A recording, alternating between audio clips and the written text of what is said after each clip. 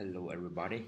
So sometimes you need to, to install a plugin or theme to your website, but you get the, message that the file size exceed the the upload limit of your server. So what do you do?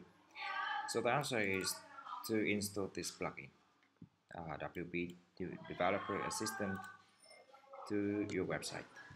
So I will do it now okay add new. And search for this.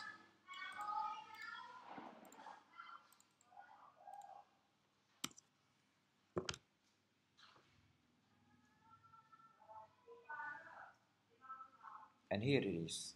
I'll click on install now. And I click on activate the plugin. So now the plugin is activated. I go to developer menu here go to upload files and you can paste your your the file URL here and uh, if you want to upload a plugin click here or theme click here. So this is uh, this is uh, the plugin okay? I'm going to upload a plugin.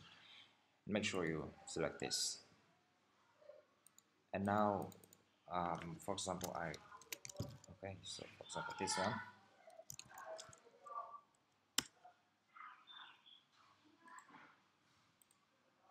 So I want to install this plugin.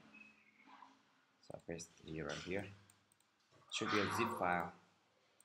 And click on upload. Uh, since I have the plugin installed here on my website I will not click on upload again.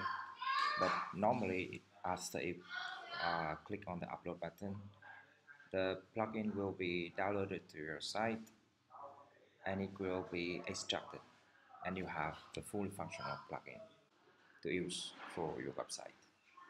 Thank you for watching. I'll see you soon.